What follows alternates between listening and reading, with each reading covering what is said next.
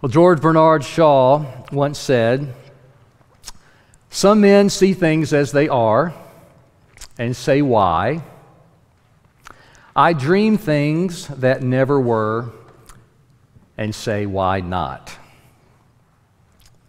That's a quote that has probably been in my mind ever since I was a kid.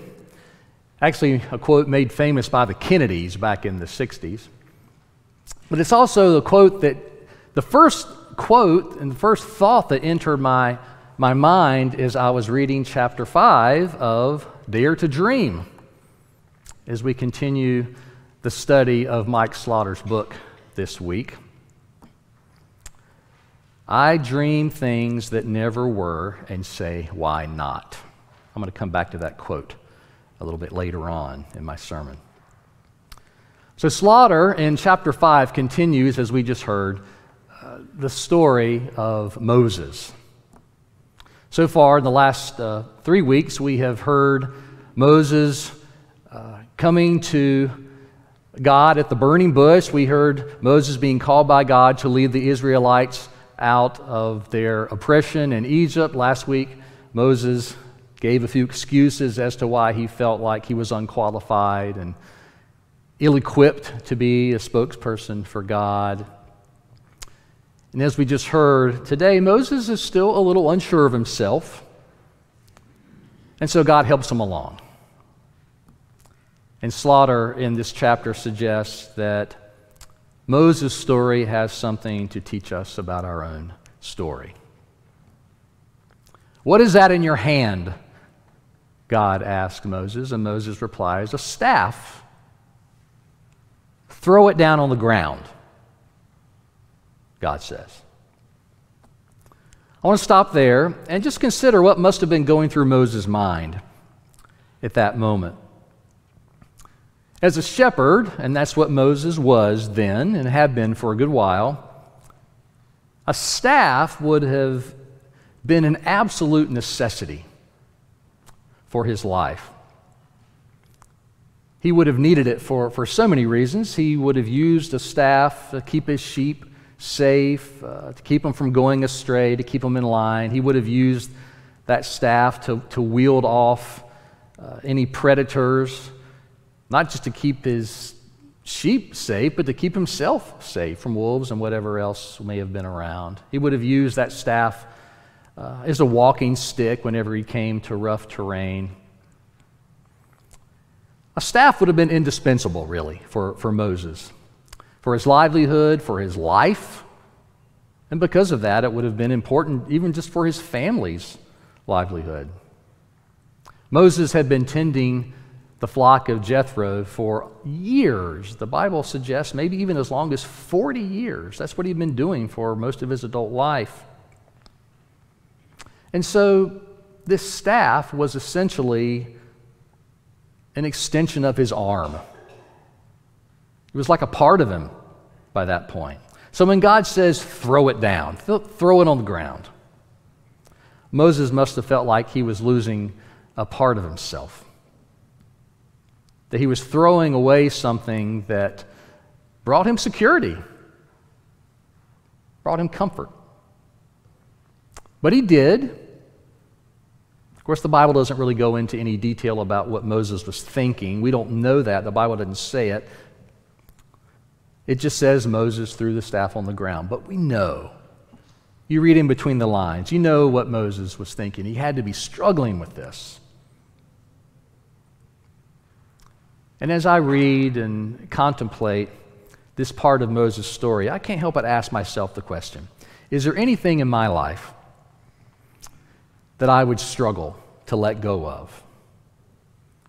Something that brings me comfort and security that I, that I just can't let my grip, let go of that grip?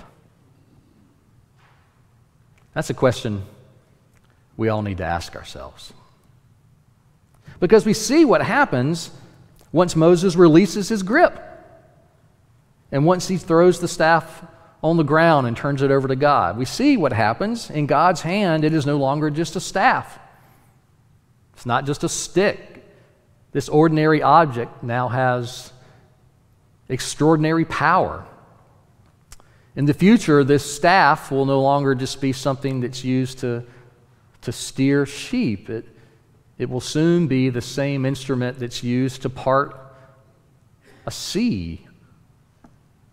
It'll be an instrument that's used to prophesy to Pharaoh. It'll be the same instrument that's used to bring forth water from a rock. It'll be used to help lead an oppressed people to freedom. It's always inspirational to read stories like this, and to hear God doing amazing things in history. But I have to be honest, I have to confess that when I hear stories like Moses' staff turning into a snake, or God transforming Moses' life around like that, I, I sometimes ask,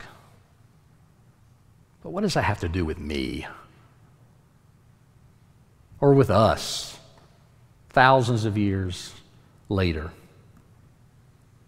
Now, I don't anticipate that God is going to be calling me to, to lead a multitude of people to freedom. I don't really believe that God is going to transform my iPhone into a reptile.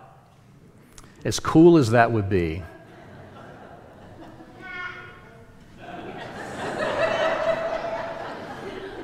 Wouldn't it be?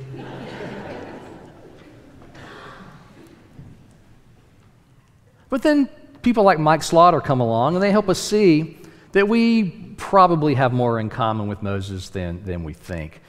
And that in order for us to discover God's purpose for our life, there is a necessary throwing down of our gifts, so to speak, in order for God to take them back up and to transform them into a greater purpose. We saw that specifically in the chapter of his book this week, I think, in, in this wonderful illustration about this gentleman who, who loves cars. His pastime was, was cars. In fact, that was his real passion. He knew all about cars, everything about cars. He loved working on them. Car repair was essentially this man's staff that he threw down on the ground before God, and then God took, took that back up. And he transformed this man's hobby, his pastime, into this ministry.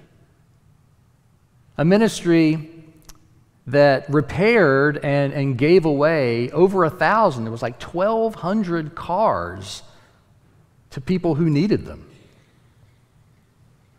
That's what can happen when we release our gifts and our life experiences and our interests and our passions to God. God can take them and God can do something with them that we never could have imagined or, or seen that we could do with them on our own. You know, and stories like this are not just things that happen far away in other places and other states and other countries or in books. They, they're happening right here in our own community. They're happening in our church. I remember before I became a pastor here at, at DUMC, I've lived in this area for a long time. I, I used to see bumper stickers on cars that said bags of hope. I would see those all, all the time. I didn't really know exactly what bags of hope was.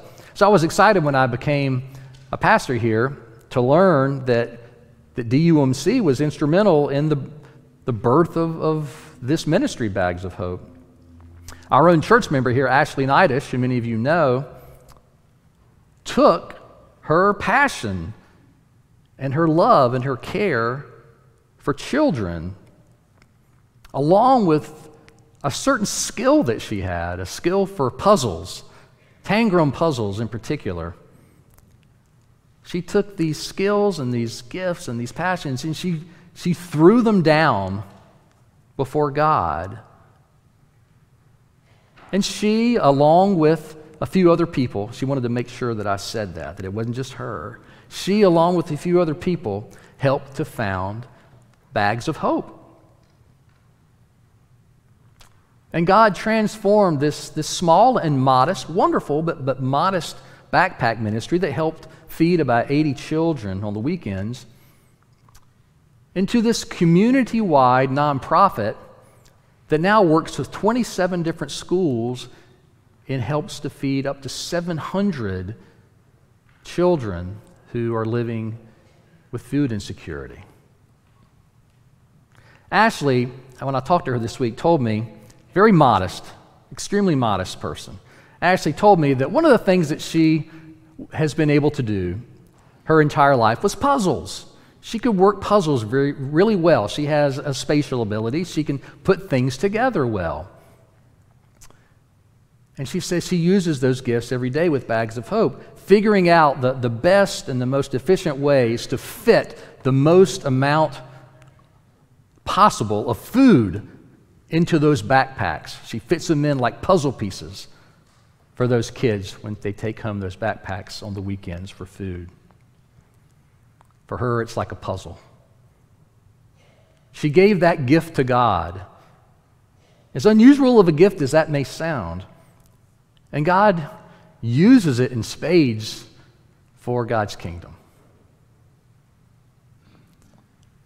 And of course, the thing is, is that neither Ashley nor, nor that man who runs the car ministry, or even Moses, could have seen what their ministries would eventually look like.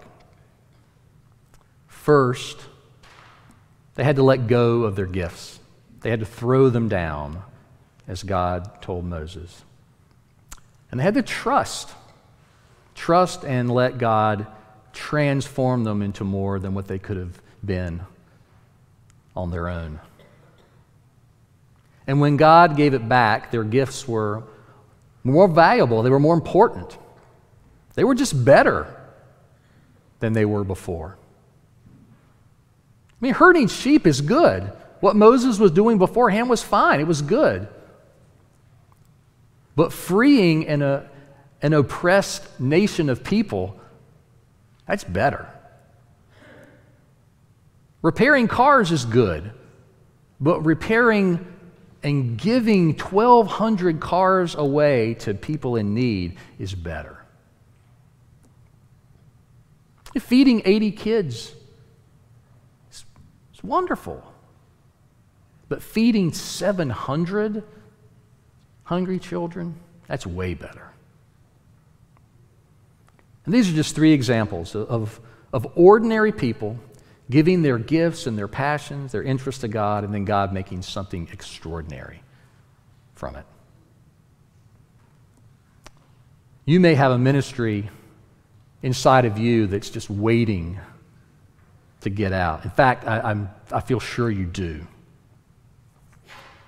I would suggest, and I feel sure that Mike Slaughter would agree, that you not wait on the church, that you not wait on the staff or the pastors of the church to tell you what all of the ministries of the church will be. You tell us.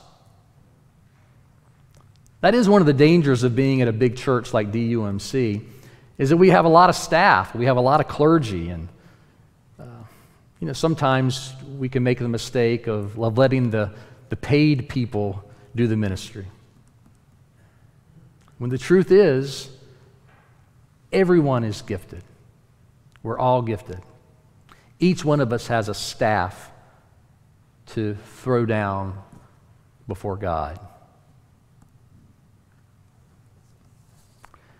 All right, I want to go back to that quote that I mentioned from George Bernard Shaw. He said again Some people see things as they are and say, Why? I dream things that never were and say, Why not? Frankly, I think Slaughter should have used that quote in his book, in this chapter. It would have been better. I haven't read chapter 6 yet, so maybe it's in there. Whether it's there or not. This really is the purpose for all of, of God's people to dream things that haven't happened yet and to say, why not make them happen? And the way we make them happen is by releasing our gifts to God, throwing down our staff. That's when God's dream for our life will begin to come into focus. Amen.